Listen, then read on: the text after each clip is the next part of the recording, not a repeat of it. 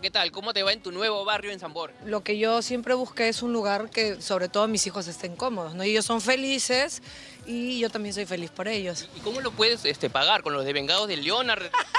Escúchame, pero eso no cae todavía, pues. Entonces no puedo pagar con eso. La garantía de Surco, ahí está, la garantía. no, porque no estaba mi nombre en el contrato.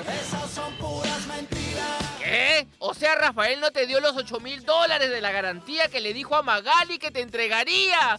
No me digas que el pelado prometió un huevo con doble yema y a la larga resultó ser una cáscara vacía hay ciertos arreglos. Está hablando que si ella tiene que abandonar la casa mañana mismo, que si Carla tiene que eh, irse, que si Carla eh, esto, que, que, él va a ser generoso con ella y le va a dar tantas cosas. Yo trabajo en la radio, trabajo acá en el canal en Panamericana de Televisión, tengo mis eventos, trabajo en los 16 años y todo lo que pueden ver, eh, sobre todo en lo que concierne a mis hijos, colegios, casi todos, los pago yo. ¿Y la promesa que hizo a las finales? De él no voy a hablar nada, como siempre lo he dicho. Eh, guardo el mejor recuerdo. ¿Y cumplió con lo del colegio o no?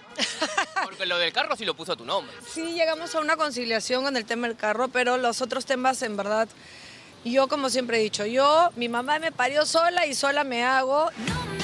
Pellizqueme que todo este tiempo le creía al huevero cuando dijo que a pesar de todo seguiría viendo por los chivolos de Carla y encima se lo dijo mirando los ojos a la urraca. Sus hijos les tengo muchísimo cariño, para mí son lo máximo, es más, yo no me voy a desvincular de ellos. En el resto de cosas del colegio hemos hablado con Carla de que eso se va a mantener igual. Yo para mí básico y fundamental es su educación. Estoy pensando que no creo que sea tan loco, no es hacerles un fondo para que puedan tener algo y para su futuro.